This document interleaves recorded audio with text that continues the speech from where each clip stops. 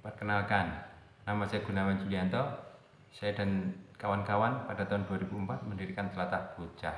Kami menggunakan nama itu karena dari unsur kata telatah yang artinya arena atau tempat atau dunia. Bocah artinya anak. Jadi adalah dunia naik anak, tempatnya anak. Jadi kita mempunyai mimpi bahwa anak-anak mempunyai tempat fisik atau mempunyai tempat dalam imajinasinya, tempat yang aman, tempat yang nyaman untuk berkegiatan, untuk eksplorasi segala hal yang dia pikirkan, lingkungannya dan sebagainya. Ketika orang-orang dewasa datang, mereka adalah tunduk pada anak-anak. Mereka berkomunikasi anak-anak dengan anak-anak dengan gaya anak-anak. Ah, tidak ada jarak antara umur dewasa dan anak. Bahkan eh, tidak ada bullying untuk anak, tidak ada kata-kata kasar, kata-kata tidak pantas atau orang dewasa menyuruh anak melakukan kegiatan-kegiatan yang tidak layak untuk anak.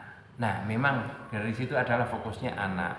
Membicarakan tentang anak itu sangat kompleks karena di, ada lingkungan besar di sekitar anak. Ada orang tua, ada family, keluarga besar, ada tetangga, ada birokrasi dusun atau desa, Pak RT, Pak RW, Pak Kepala Desa, eh, staf desa, ada komunitas-komunitas pertanian di mana orang tuanya ikut, komunitas PKK di mana ibunya ikut, komunitas pengajian atau komunitas keagamaan yang lain. Jadi anak itu di bawah pandangan banyak orang. Nah, namun demikian, anak kurang mendapatkan eh, kesempatan berkomunikasi dengan orang dewasa. Orang dewasa juga tidak memberikan kesempatan membagikan pengetahuan pada anak-anak. Uh, yang hal yang terlupa adalah bagi mereka pengetahuan diambilnya dari sekolah saat itu. Nah, bagi kami lingkungan anak-anak itu di sekitaran Magelang sangat kaya akan budaya, sangat kaya akan tradisi, sangat banyak yang mempunyai kesenian. Kenapa enggak ditularkan pada anak-anak? Nah, dari situlah kerja-kerja kami dimulai. Kita bujuk orang-orang desa, orang-orang tokoh-tokoh desa, terutama di bidang kesenian, untuk melakukan kegiatan bersama anak mengajak anak bermain, mengajak anak belajar berkesenian semenjak dini. Karena kalau nggak istilahnya kalau nggak sekarang kapan lagi dunia berputar cepat, kita akan kalah dengan globalisasi jika tidak mempertahankannya. Nah, satu hal yang kami clue atau moto yang sering kali dipinjam orang lain. Kami mempunyai moto eh, dalam bahasa Jawa, bocah dudu dolanan, bocah kudu dolanan. Artinya apa itu? Bocah bukanlah mainan. Bocah haruslah bermain ya karena memang masanya bermain.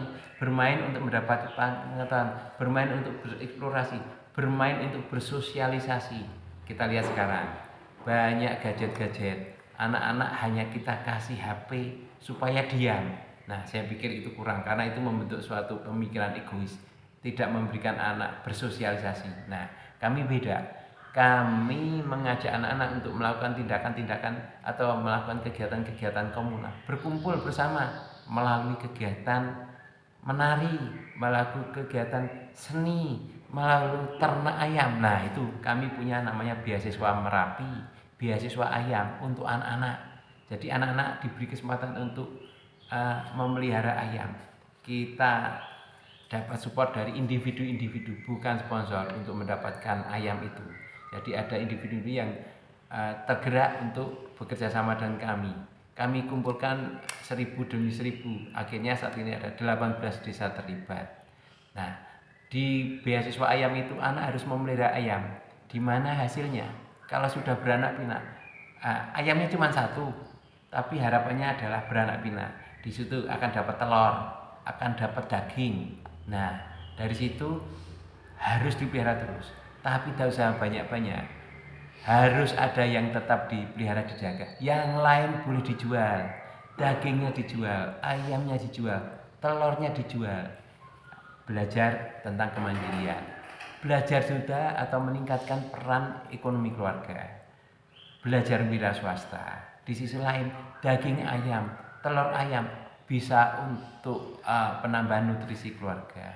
Di sisi lain lagi dengan kelompok-kelompok anak itu kita membentuk kelompok anak di dusun-dusun mereka berkumpul bercurah pendapat berdiskusi, berdebat tentang segala hal, bukan hanya tentang ayam, tapi tentang kegiatan-kegiatan aktivitas desa.